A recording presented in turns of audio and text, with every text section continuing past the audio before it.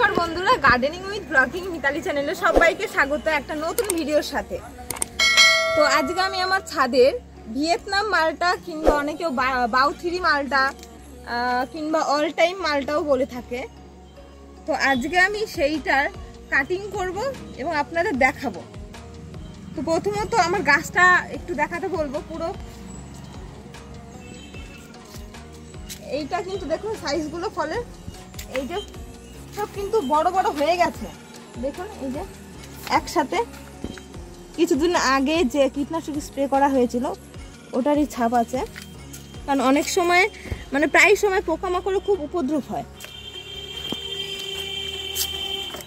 এই যে দেখুন, একসাথে তিনটা। আর সাইজগুলো কিন্তু খুবই বড় বড়। এই যে খুবই বড় বড় সাইজ। যে এই পাশটাও আছে, একসাথে বাধা আছে দেখুন ভর মানে এতই ফল ধরেছে যে মানে রাখা যাচ্ছে না ডাল। ওর জন্য এইটা মানে এখানে পুঁতে দেওয়া হয়েছে গোড়ায় ড্রামে এবং তার সাথে সুতোটা দিয়ে এটা সাপোর্টের জন্য। দেখুন। ভিয়েতনাম মালটা অনেকে বাউথিরি মালটাও বলে। তো যারা এখনও দেখেননি ফল তারা দেখুন। তো দেখতে পেলেন? এই যে। এটা কিন্তু আমি বলি, এটা বারো মাস কিংবা অল টাইম কারণ, দেখুন, গাছটা এতই বড় হয়ে গেছে। এই যে।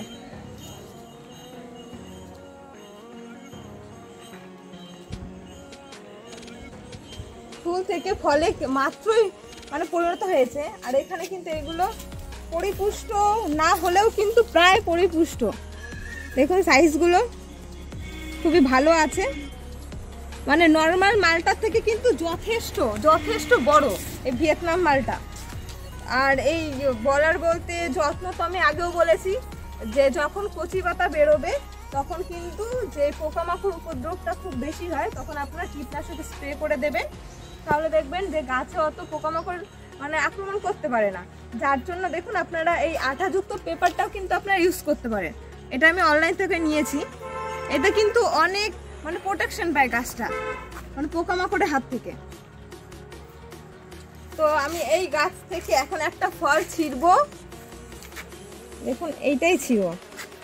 এইটাই ভালো লাগছে আমার কাছে। আস্তে করে ছিঁড়বো। কারণ এখানে অনেকগুলো ফল আছে তো। ভারী, যথেষ্ট ভারী আছে। আমি এর আগে এখনও ভিয়েতনাম মালটাটা কাটিনি। আর দেখিও নি। এটা আমি কাটবো। এটা দেখতে কিন্তু একটু ডিফারেন্ট ডিফারেন্ট বলতে এটা কিন্তু অনেকটা বাতাবি লেবুর মতো। দেখুন। এখানে মানে নিচটা পুরো থালার মতো পুরো বসানো। আর উপরটা একটু সোচালো ধরনের আছে। দেখুন। অনেকটা বাতাবি লেবুর মতন আকার। আর পাতাগুলোও কিন্তু এই যে, অনেকটা মানে নৌকার মতো বলতে পারি। আর যে এখান থেকে ছোট ছোট পাপড়ির মতো বেরিয়েছে। অনেকটা বাতাবি লেবু গাছের মতনই পাতাগুলো। পরিচর্যা বলতে গাছ বসানোর সময় যে মাটি তৈরি, সেটা তো আপনারা সবাই জানেন যে লেবু লেবু জাতীয় গাছে বেলে দোআঁশ মাটি, ভার্মি কম্পোস্ট হাড়ের গুঁড়ো শিংকুচি এইসব বিটিসি দিয়ে ভালো করে মিশ্রণটি মিক্স করে তারপর কিন্তু গাছটা বসাবেন এবং গাছটা বসানোর পরে বিশেষ যত্ন বলতে কিন্তু আমার আমার, আমি যেটা করি সেটা হলো শস্যের খোল পচা জলটা আমি মিনিমাম সাত দিন কিংবা দশ দিন বাদে বাদে এটা দিয়ে থাকি। আর মানে যখন গাছে কচি পাতা বেরোয়, তখন কিন্তু অনেক সময় যে প্রজাপতির যে ডিমগুলো হয়, দেখতে পারবেন একটু লক্ষ্য করে, যে বিশেষ করে কচি পাতায় ওই ডিমগুলো কিন্তু পোকায় পরিণত হয় এবং পরিণত হওয়ার সাথে সাথে পুরো পাতায় এখানে আমি দেখতে পাচ্ছি না, এই যে, দেখাতে বলব। এরকম কিন্তু আস্তে আস্তে সম্পূর্ণ পাতায় কিন্তু আক্রমণ করে। ফলে পাতাগুলো কুকড়ে যায়, অনেক সময় পাতাগুলোকে খেয়ে নেয়, নষ্ট হয়ে যায়। এতে গাছের কিন্তু ক্ষতি হয়। ওর জন্য কীটনাশক স্প্রে করে দিতে পারবেন। আর এখন আমি এই ফলটা এখন কাটবো। তো চলুন দেখি। এটা কেটে নিয়ে আগে। আগেই তো মানে কাটার আগে রস ঝরে ঝরে পড়ছে। তাহলে বুঝতে পারছেন যে ভেতরে কি? পুরো রসালো।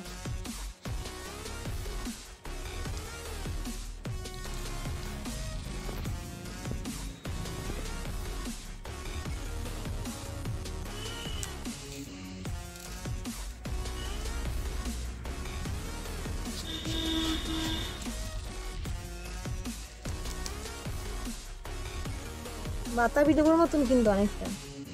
ঝরে ঝরে আসছে। কিন্তু প্রচুর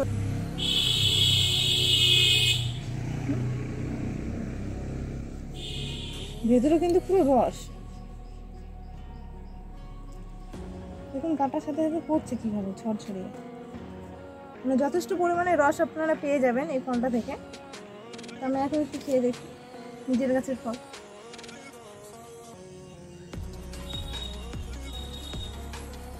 চিনির থেকেও বেশি মিষ্টি। সত্যি বলতে যারা এখনও খাননি, তারা একবার টেস্ট করবেন। তারপর আমি মিথ্যা বলি না, সত্যি বলি, সেটা কিন্তু আপনারা নিজেরাই বুঝে যাবেন। খুবই মিষ্টি। খেতেও কিন্তু খুবই স্বাদ। যেহেতু মানে বাজারে যারা ব্যবসায়িক ক্ষেত্রে যারা কিন্তু মানে চাষ করে, তারা কিন্তু অনেক অনেক ওষুধ স্প্রে করে। ফল বড় হওয়ার জন্য, মিষ্টি হওয়ার জন্য, কিন্তু এটা সম্পূর্ণ প্রাকৃতিক উপায় কিন্তু। যেইটুকু অভিজ্ঞতা মানে অর্জন করেছি এই ছোবলার যেটা আছে, সেটা কিন্তু একটু তিক্ত ভাব আছে। খেলে মুখটা একটু হালকা চুলকাচ্ছে কিংবা জ্বালা করছে। ওর জন্য বলব, এটা যখন আপনারা খাবেন, তখন একটু ছুলে নেবেন। ছুলে নিলে কি হবে? যে তিতো ভাবটা মুখে আসছে, এটা কিন্তু সম্পূর্ণ দেখুন, এই যে, এখানে যে কষগুলো, সেই কষগুলোর জন্য কিন্তু মুখটা কিন্তু একটু তিতো ভাব আসছে। কিন্তু খেতে কিন্তু অনেক মিষ্টি। খুবই মিষ্টি খেতে। ছোবলাটা এইভাবে ছাড়িয়ে তারপর খাবেন দেখবেন ছোবলার আসল তি- তিক্ত ভাব কিন্তু ছোবলায়। মানে কমলা লেবুর মতো শুলে খেতে হবে? হ্যাঁ অনেক হ্যাঁ অনেকটা কমলা লেবুর মতন ছুলে খাবেন। বাতাবি লেবু আমরা কীভাবে খাই? এটা তো ছুলেই তো আমরা খাই। তো সেহেতু এইটা বাতা বাতাবি বাতাবি লেবুর মতনই একটু ছুলে খাবেন।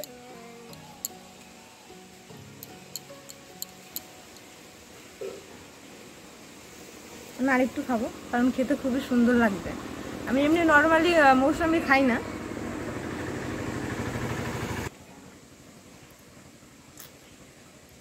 পুরো রসালো মুখ পুরো পুরো রসে পুরো ভর্তি হয়ে গেছে।